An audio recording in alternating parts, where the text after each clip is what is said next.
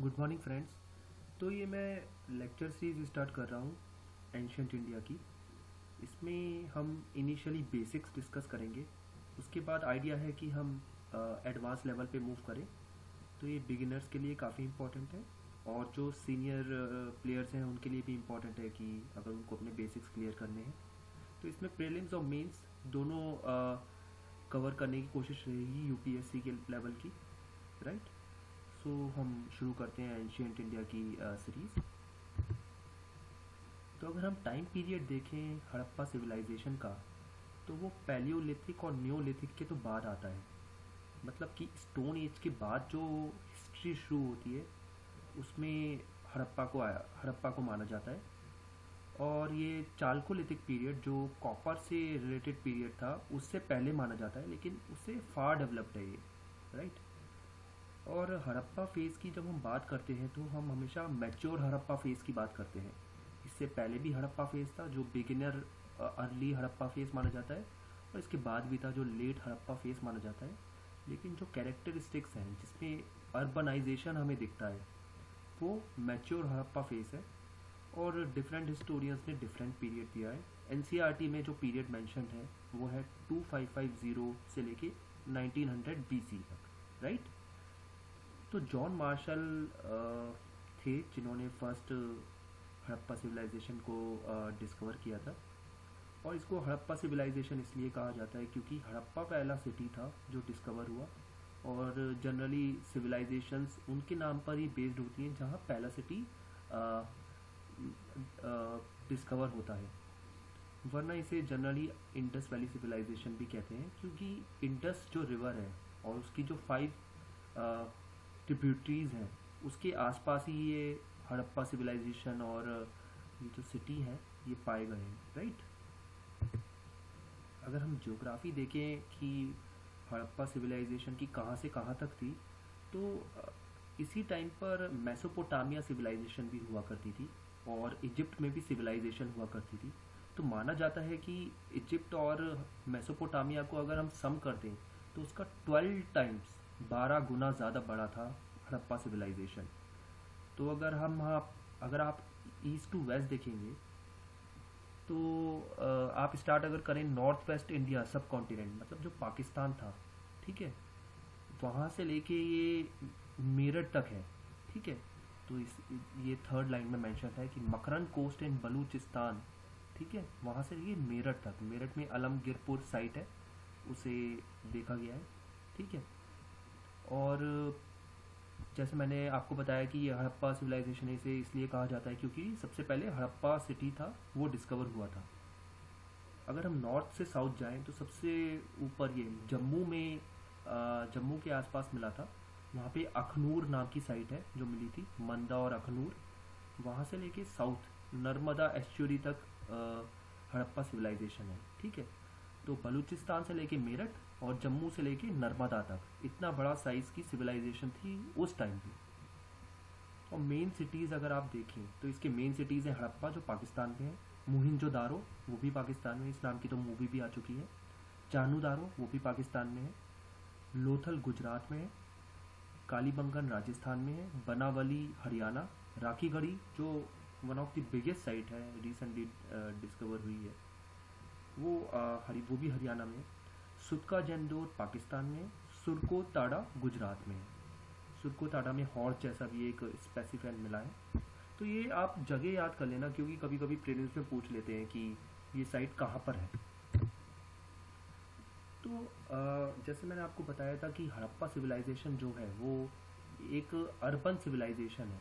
मतलब urban urban का क्या मतलब है कि सेकेंडरी और टर्शरी एक्टिविटीज़ ज़्यादा होती थी वहाँ पर। एग्रीकल्चर बेस्ड इकोनॉमी नहीं थी, ठीक है? एग्रीकल्चर तो देखिए हमेशा चाहिए होता है, लेकिन अगर किसी इकोनॉमी में सेकेंडरी और टर्शरी एक्टिविटीज़ भी ज़्यादा हो रही हैं तो उसको अर्बन अर्बन माना जाता है। जैसे वहाँ दिल्ली है तो यहाँ पर दिल्ली, मुंबई है, चेन्नई, बेंगलोर है तो यहाँ पर आप देखेंगे कि बिज़नेस चल रहे हैं सर्विस सेक्टर चल रहा है ट्रेड एंड कॉमर्स चल रही है तो इसलिए इन्हें सिटीज़ माना जाता है। ठीक है? तो अगर हम टाउन प्लानिंग देखिए, हड़प्पा सिविलाइजेशन की तो मेनली हर एक टाउन को दो पार्ट्स में डिवाइड किया जा सकता है।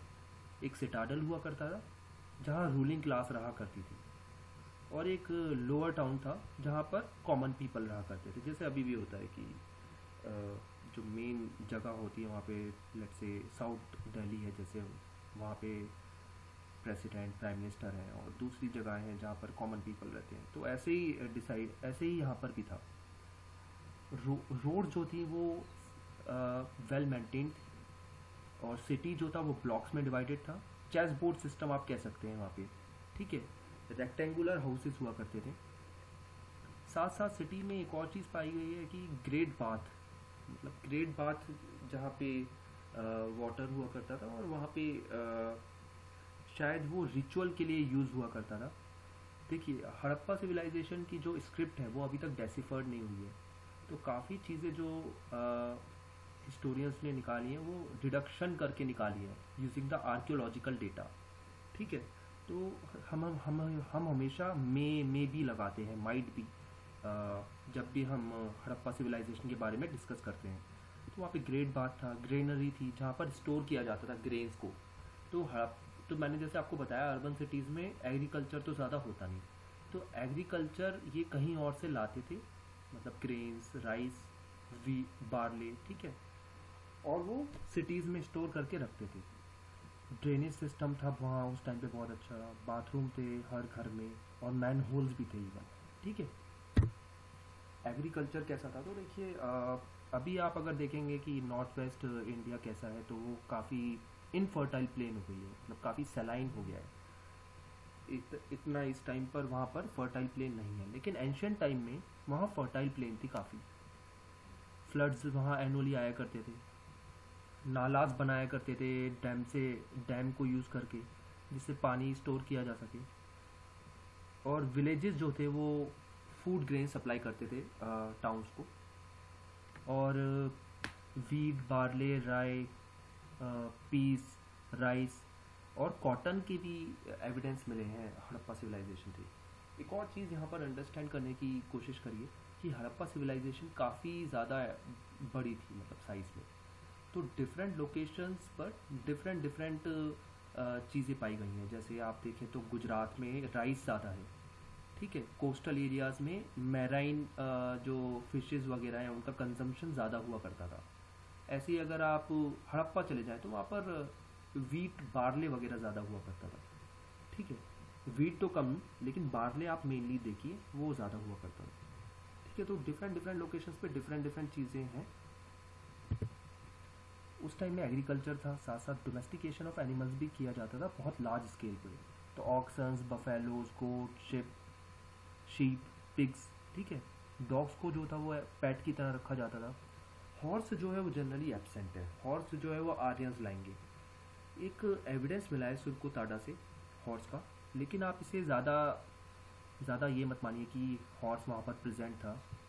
हॉर्स जनरली आप ये एज्यूम करके रखिए कि वहाँ प्रेजेंट नहीं था। इस साल प्रीलिम्स में क्वेश्चन भी आया था कि क्या हॉर्स था वहाँ पे या नहीं था। तो आई थिंक यूपीएससी का आंसर उसमें होना चाहिए कि हॉर्स नहीं था। ठीक है? एलिफेंट और राइनोसरोस वहाँ पर उस टाइम पे काफ़ी ज़्यादा थी।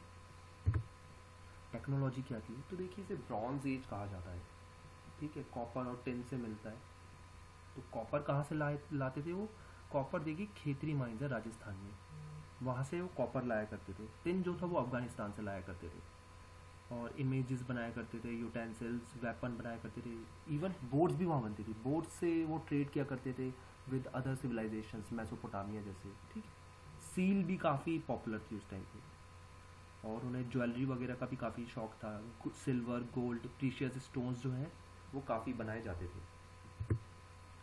तो ट्रेड के भी काफ़ी एविडेंस मिले हैं। इसी की वजह से हड़प्पा सिविलाइजेशन इतना डेवलप था अगर आप उस ये समझना चाहें कि इतना डेवलप कैसे था। क्योंकि ट्रेड सरप्लस हुआ करता था। इनके पास आ, जैसे अभी इंडिया का है ट्रेड डेफिसिट है तो इंडिया थोड़ा लूज़ कर रहा है पैसा। लेकिन उस टाइम में जब हड़प्पा सिविलाइजेशन था तो इंडिया गेन कर रहा था।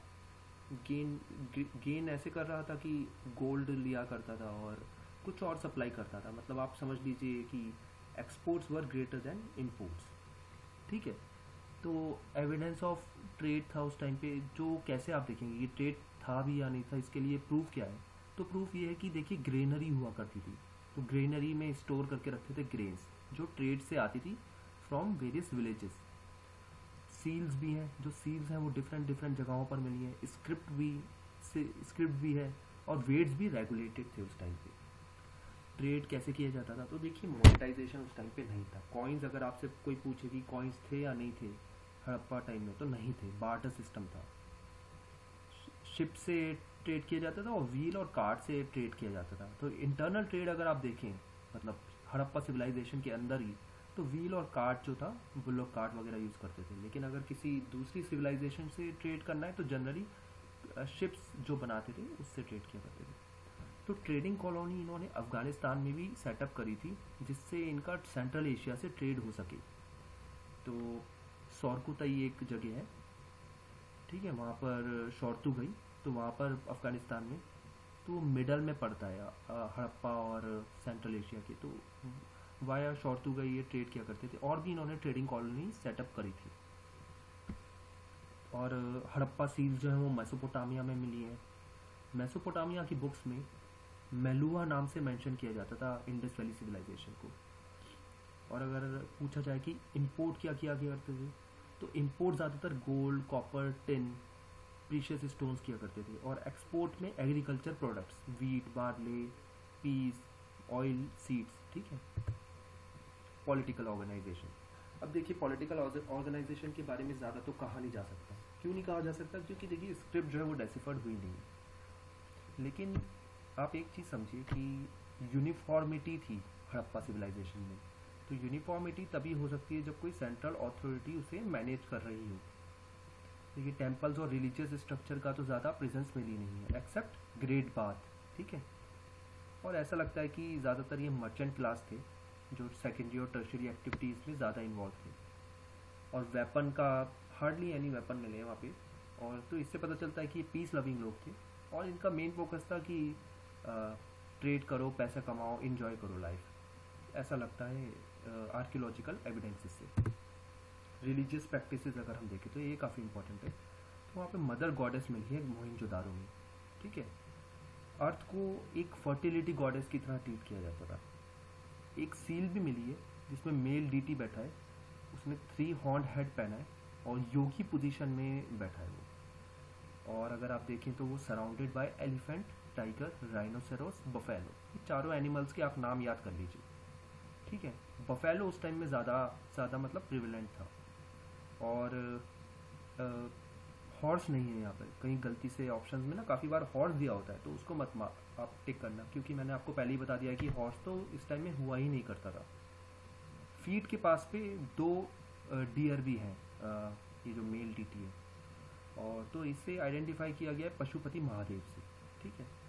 उस टाइम पे फैलस वर्शिप भी किया जाती थी राइट और रिलीजियस uh, प्रैक्टिस में ही ये कंटिन्यूशन है कि नेचर वर्शिप बहुत किया करते थे ट्री की वर्शिप किया करते थे पीपल का। वन हॉर्न यूनिकॉर्न मिलाए ठीक है? हम्प्ड बुल एमुलेट्स गोथ्स और एविल्स में इनका शायद विश्वास था इसलिए यही एमुलेट्स पहनते थे। बरियल प्रैक्टिस भी काफ़ी ज़्यादा डिफरेंट डिफरेंट आपको मिलेंगी। एक तो कंप्लीट बरियल है पोर्ट बरियल है कॉफिन को भी यूज़ किया गया है। ठीक है तो डिफरेंट डिफरेंट वेज में किया करते थे। तो देखिए इसका डिफरेंट डिफरेंट होने का रीज़न सिंपल यही है कि डिफरेंट जगहों पर डिफरेंट डिफरेंट तरीके से आ, उनको बरी किया जाता था। जैसे आप काली मंगन में अगर एविडेंस देखेंगे तो आपको फायर के भी एविडेंस मिलेंगे फायर अल्तार्स के राइट स्क्रिप्ट तो मैंने आपको जैसे अभी पहले ही बता दिया है कि स्क्रिप्ट अभी तक डेसिफर्ड नहीं की गई है।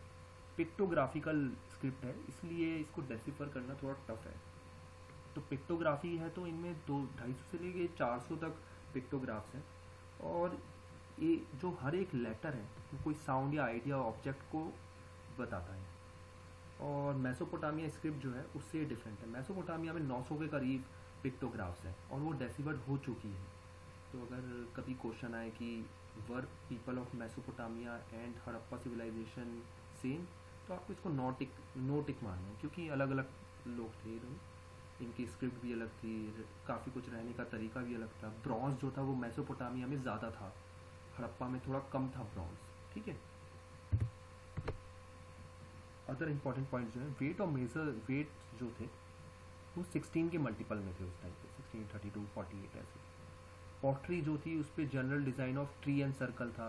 रेड वेयर पॉटरी थी। तो आप इसको याद रखना कि रेड वेयर पॉटरी थी। पेंटेड ग्रे वेयर ठीक है, वो जो वैदिक टाइम में मिली थी तो वो सब पॉटरी के अलग अलग अलग पॉटरी अलग अलग एजेस में मिली है। तो हड़प्पा सिविलाइजेशन से जो कंटेम्पररी पॉटरी है, वो है रेड वेयर पॉटरी सील्स जो थी, वो बहुत ही इंपॉर्टेंट है पे जो एनिमल्स की मिली हैं, और सील्स में काफ़ी हाई स्किल यूज़ करते थे हाई क्लास यूज़ करते थे। एक इमेज भी मिली है डांसिंग गर्ल की मोहिंजोदारों में राइट ब्रॉन्ज इमेज है वो, और उसने कहा, खाली नेकलेस पहना हुआ है। टेराकोटा भी बनाया करते थे उस टाइम पे तो एनिमल्स ह्यूमंस और ये कॉमन ऐसा लगता है देख के कि ये ज़्यादा ग्रेट स्किल से नहीं बनाते थे, जैसे सील्स को बनाया करते थे तो शायद ये कॉमन पीपल के लिए ही बनाया जाता था। तो जो क्लोथ थे वो नॉर्मल क्लोथ पहना करते थे upper and lower cloth both man and women jewellery पहना करती थी वुमेन कॉस्मेटिक्स भी मिले हैं चानूदारों से लिपस्टिक भी मिली है राइट तो कॉस्मोपॉलिटन कल्चर था उस टाइम में। चिल्ड्रंस के टॉय भी मिले हैं। फिशिंग हंटिंग बुल फाइटिंग में भी अपना टाइम स्पेंड किया करते थे। लाइफ को एंजॉय किया करते थे थोड़ा। अब ये डिक्लाइन भी कैसे हुआ? डिक्लाइन होना शुरू कैसे हुआ? इस पर कभी काफ़ी कंट्रोवर्सी और डिफरेंट स्टोरी ने डिफरेंट डिफरेंट पर्सपेक्टिव दिया है कि ये डिक्लाइन कैसे हुआ? हर सिविलाइजेशन का आप देखोगे मुगल मुगल का, अशोक का मतलब मौर्य एम्पायर का या गुप्ता एम्पायर का तो different historians different different reason देते हैं। ऐसा ही हड़प्पा के टाइम में हुआ है। तो कुछ हिस्टोरियंस ने कहा है कि ये बारिश कम हो गई थी उस टाइम पे रेन डिक्रीज हो गई। तो रेन डिक्रीज हो गई तो एग्रीकल्चर में कमी आ गई राइट जब एग्रीकल्चर में कमी आ गई तो अर्बन जो लोग हैं, उनको खाना नहीं मिल रहा था। जब उनको खाना नहीं मिलेगा तो वो सेकेंडरी टर्शरी एक्टिविटीज़ में इन्वॉल्व नहीं हो सकते। आप हमेशा याद रखिए कि जब भी अर्बनाइजेशन होगा तो उसका रीज़न होगा कि एग्रीकल्चर सरप्लस है। अगर एग्रीकल्चर सरप्लस नहीं होगा तो आपका अर्बनाइजेशन नहीं हो सकता। जैसे आप इंडिया का भी देख लीजिए, अगर ग्रीन रेवोल्यूशन नहीं हुआ होता तो इंडिया में इतना अर्बनाइजेशन नहीं हो पाता राइट तो पहला रीज़न ये बताया गया है। दूसरा रीज़न ये बताया गया है कि फर्टाइल प्लेन जो थी, वो सैलिनिटी वहाँ पे काफ़ी बढ़ गई। सैलिनिटी इसलिए बढ़ गई क्योंकि रिपीटेटिव फ्लड्स आए। तो आपने ज्योग्राफी में पढ़ा होगा कि रिपीटेटिव फ्लड्स आते रहें तो सैलिनिटी बढ़ जाती है क्योंकि पानी एब्जॉर्ब हो जाता है एवोपरेट हो जाता है और जो सॉल्ट होते हैं, वो नीचे रह जाते हैं। थर्ड रीज़न ये बताया गया कि अर्थक्वेक आए साथ साथ फ्लड्स आए। ठीक है तो अर्थक्वेक ने काफ़ी रिवर्स की भी फ्लो चेंज कर दिया, काफ़ी बंद भी हो गई रिवर्स ठीक है, एक और पॉइंट कहा गया है कि ये आर्यस ने डिस्ट्रॉय कराए आर्यस जैसे आपको पता है कि उनका ओरिजिन जो है, वो थोड़ा इसके बाद आया है। लेकिन इस थ्योरी को कम्प्लीटली डिस्कार्ड कर दिया गया है। ये मॉर्टिमर व्हीलर थे, उन्होंने थ्योरी दी थी। तो इसको पूरा डिस्कार्ड कर दिया गया है। इसको इसलिए डिस्कार्ड कर दिया गया है क्योंकि एट मोस्ट 1750 के बाद मैच्योर हड़प्पा फेस हमें नहीं दिखता। और आर्यंस 1500 के पहले नहीं आए इंडिया में। उनका कोई ट्रेस नहीं मिलता। तो ये थ्योरी को कम्प्लीटली डिस्कार्ड कर दिया गया तो ऐसा लगता है कि डिफरेंट प्लेसेस पे डिफरेंट फैक्टर्स ने एक्ट करा। क्योंकि हड़प्पा सिविलाइजेशन में आपको पहले ही बता गया हूँ, बता चुका हूँ कि जम्मू से लेके ये नर्मदा तक है। और वहाँ बलूचिस्तान से लेके मेरठ तक है। तो डिफरेंट प्लेसेस डिफरेंट रीजंस की वजह से डिक्लाइन हुई। शायद ये कम्बिनेशन ऑफ़ सेवरल फैक्टर्स थे जिसमें इकोलॉजिकल रीजन जो है उसको सबसे ज़्यादा इंपॉर्टेंस दी जाती है कि पॉपुलेशन इतनी बढ़ गई थी कि सस्टेन करना ही टफ हो गया उस प्लेन में। तो आ, फिर हड़प्पा सिविलाइजेशन इसकी वजह से डिक्लाइन होने लग गया। तो ये आ, आ, हम ये लेक्चर यहाँ पर ख़त्म करते हैं। बेसिक्स ऑफ़ हड़प्पा सिविलाइजेशन का।